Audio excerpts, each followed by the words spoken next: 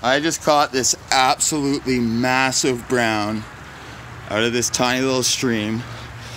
Wait till you see the size of this thing.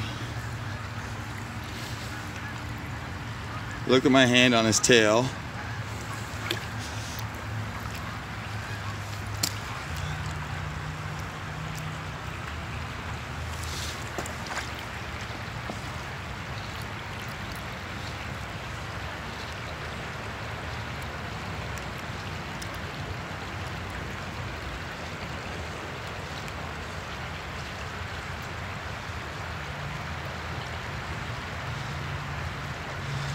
He's getting ready.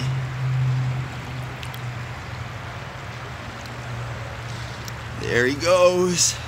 That was an absolute massive brown for this little creek.